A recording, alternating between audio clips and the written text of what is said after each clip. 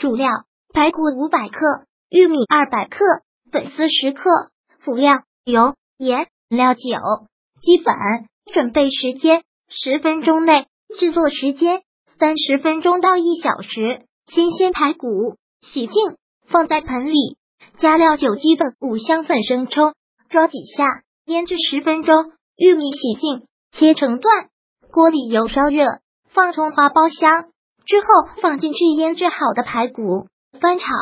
排骨翻炒大约三分钟，把玉米放进去翻炒，加点盐。